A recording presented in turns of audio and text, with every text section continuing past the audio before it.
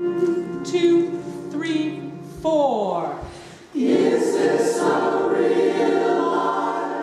The North Hadley Congregational Church resonated with the practice performance of Queen's legendary song Bohemian Rhapsody Saturday morning. The choir, led by Justina Golding of Conway, Massachusetts, practiced portions in small groups sopranos, tenors, altos, and basses before giving the song three full practice runs with increasingly impressive results. Bohemian Rhapsody will be performed live with other classic rock songs at the North Hadley Congregational Church in order to raise funds for the Northampton Community Music Center at 3 p.m. this Sunday, April 3rd. Beautiful work here. Okay? From the top. Two, three, four.